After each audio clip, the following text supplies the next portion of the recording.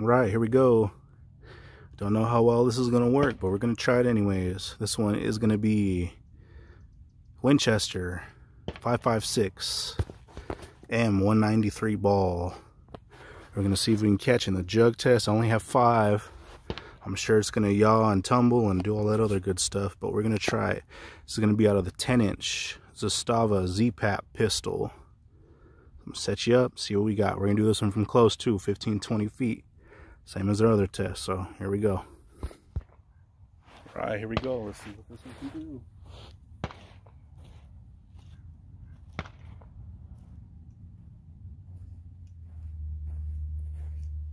About 20 feet out. 556 Zastava.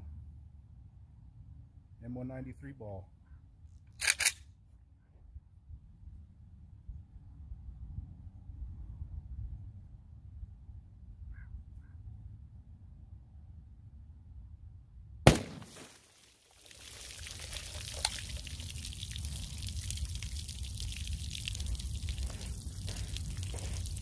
All right, let's see if we even tried to catch that one. Looks like it did pretty good though.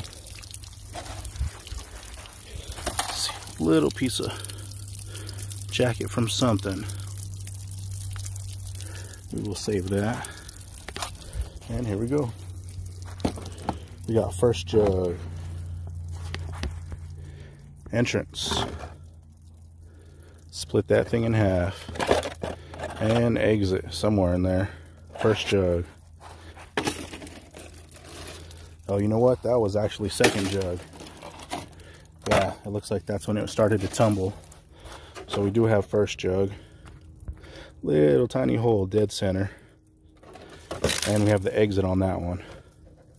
So definitely did pretty good. Split that, and then here's the second one. Looks like it was tumbling already.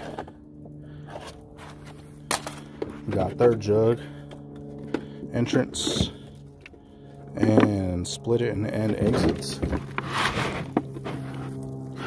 And it doesn't look like we caught that one. Didn't think we would, but still a fun test. We got entrance on the fourth.